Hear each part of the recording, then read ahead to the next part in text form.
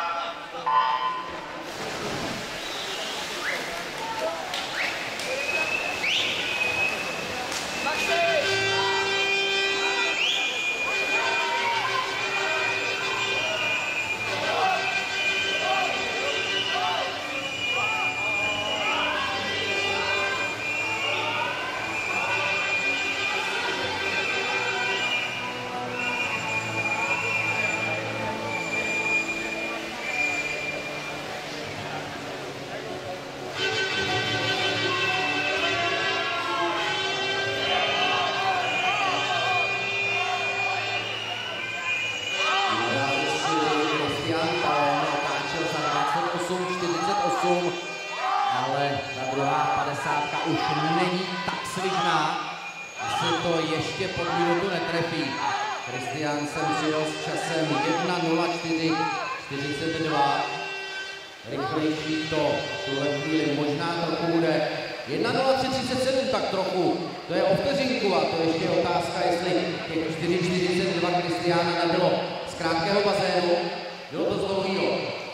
Přesto vteřinu osobní rekord, to si myslím je velmi dobrý počin. Blahopřejeme Kristiánovi a jdeme na desátou rozklavu. Tam jednička Tomáš Kaupa, dvě Jáchym Velebný, na trojce Pepa Štemberg, čtyři Adam Novák, na pětce Kuba Štemberg, včera výborný, šest Šimon Dvořák, sedm Krištof Linhár a osm Michal Tomašovský.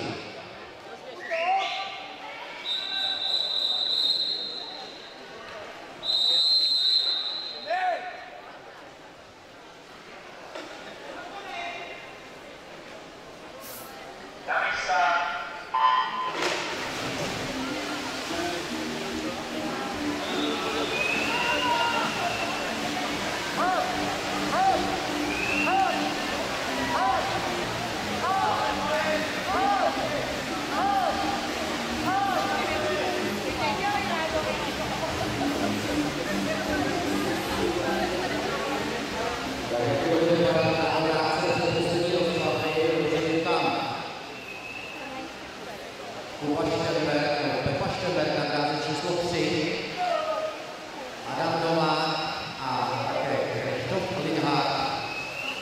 Pepa Štemberg dráze číslo 3, na čtyřce Adam Novák, ale na dráze 5 čekám, kdy za to vezme Kuba Štemberg, který v těch včerejších závodech, ale to nebyly motýlky. Včera dobře prsa, dobře pátek polovku, vyhrál velkou cenu Memoriál Zdenka Vanička a vyhrává také teď za 1.02.19. 1.02.19 je to trochu za přihlášeným časem, ale Jakub Štemberg poráží svého bráchu dvojče. Pepíčka je Adam Novák. 11. rozplatba, ráda 1 Adam Karnov, Slávia Plzeň, dvojka Jakub Šíří Slávia Plzeň, na trojce domácí Radek Grupáč, čtyři Robert Borovanský Slávia Plzeň, pětka Václav Čermák, šest Filip Sonenberg, Ústecká akademie, sedm Vojček Ogrodník, Karlovské Gory a na osmičce Jakub Marek Slávia Plzeň.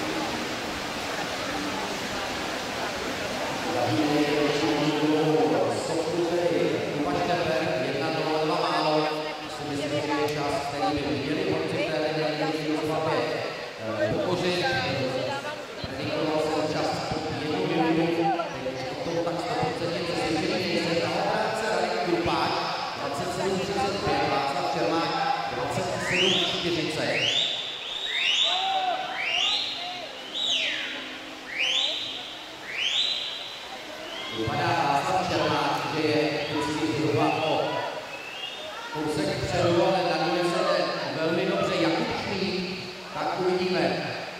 No pod tu minutu to bude, pod tu minutu to bude. Vyhrává Václav Čermák 58.07, Jakub 58.25 a Filip Sonnenberg 58.69. Druhý pak Robert Borovanský a pátý David Grupáč. Děvčata na 100 metrů motýlek, uvidíme rozkladem 10, to je první, dráha 1, Zdeníka Kohoutová, Dojka Viktorie Klimová, 3, Kristýna Hrotová, 4, Nikola Jimová, na 5, Anna Hrušková, 6, Volná, 7, Laura